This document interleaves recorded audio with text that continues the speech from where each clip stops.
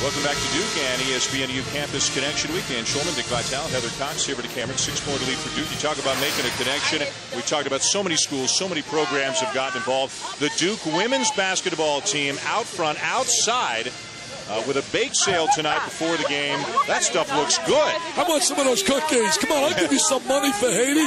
Bring some cookies up here. I want some of those cookies. Yeah, great job by them to raise money. Every, every penny, every dime, every dollar helps. And a great job by the Duke women's basketball team to do their share. I'll tell you one thing about the USA.